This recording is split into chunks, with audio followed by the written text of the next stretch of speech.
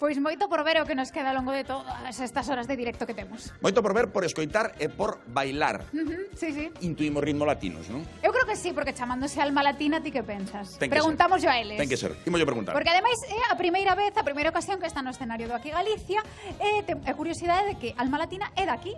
É daqui de Cervo. Naceu en Cervo, pero non sei onde son eles. Boas A tardes, ver. que tal, Sandra? Boas tardes. Pero agora andades un pouco espallados tamén polo mundo. Sí, sí, andamos, fomos a Suiza con actuacións, estuvemos en, en Suiza nun centro galego, en Basilea, E despois nós os componentes sempre somos un de cada sitio, e non só da Mariña, senón da zona de Ferrol, eu son da... Pero agora andades un pouco espallados tamén polo mundo.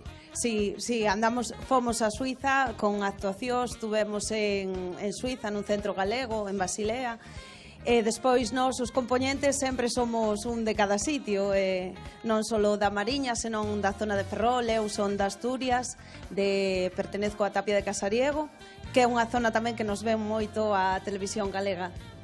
Claro, e unha maravilla que ademais viaxades moito en Asturias, pois nos contaredes, non? Que creo que marchades para ali. Si, sí, hoxe temos actuación en Lastres, hoxe pola noite. Moi ben, pois a xente de Lastres que... Os... Nos uso, falo contigo un pouquiño. Contame. Ti non és asturiano. No, no, son un e eh, de cepa, ademais, son de a provincia da Coruña de Ferrol. Ah, de Ferrol. Pero sí que se levades pois, moito tempo. Suso, falo contigo un pouquiño. Ti non és asturiano. No, no, son galguiño e eh, de cepa, ademais. Son de a provincia da Coruña de Ferrol. Ah, de Ferrol. Pero sí que se levades pois, moito tempo. Temos como ver moitos, é que é unha comodidade, sí, a verdade que sí. E como non me indica, pois xa dicimos, alma latina, moito ritmo latino, non hai máis que ver os instrumentos que empregades, verdade? Sin lugar a dudas. Temos como ver moitos, é que é unha comodidade, sí, a verdade que sí. E como non me indica, pois xa dicimos, alma latina, moito ritmo latino, non hai máis que ver os instrumentos que empregades, verdade? sin lugar a dudas. Procuramos, procuramos facer un pouco de todo, pero bueno, basarnos sempre, sempre, o que é a verbena pura e dura. Hai tempo ademais para todo, unha, unha verbena dura moitas horas. Claro. Procuramos, procuramos facer un pouco de todo, pero bueno, basarnos sempre, sempre, o que é a verbena pura e dura. Hai tempo ademais para todo, unha, unha verbena dura moitas horas. Claro.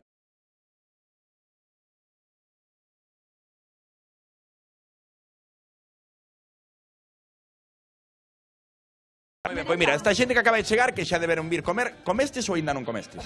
Xa Sí. comeron, xa comeron, están perfectamente Mira, algún Agora bailar, está co chupito para baixar a comida, claro. Mira, claro. está eh, moi ben. Pois xa está, é momento entón de baixar a comida, de empezar a ritmo de baile e despertar da siesta que xa vai sendo hora. Efectivamente, na casa tamén a bailar, eh? Veña, perdimos un forte aplauso para Alma Latina. Aí van.